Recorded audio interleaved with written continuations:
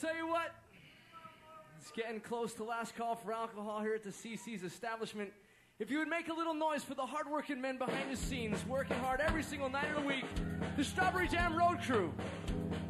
Running sound, we got Mr. Richard Cummings. That's Rich behind the soundboard. He's keeping the sound alive. That's Rich running sound.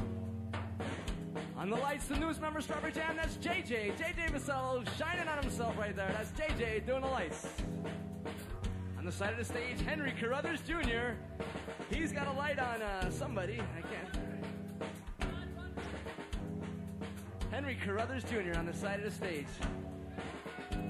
Big Mike Management booking Strawberry Jam all the time, all over the place. That's right. Big Mike booking Strawberry Jam. Talk to him. Come visit the Strawberry Jam website if you're on the internet.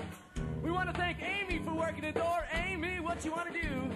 That's Amy working the door. She was. Thanks a lot for coming out. Thanks for spreading the jam, the Strawberry Jam Road Crew. Hardworking bunch of guys, and uh, we appreciate all their work.